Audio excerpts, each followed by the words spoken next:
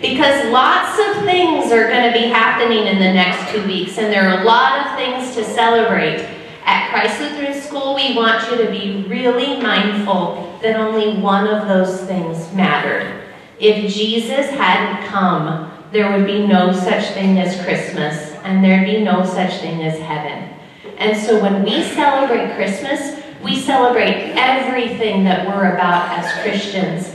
That God came near, that He dwelt among us, and that He died on the cross for us. So we have much to celebrate.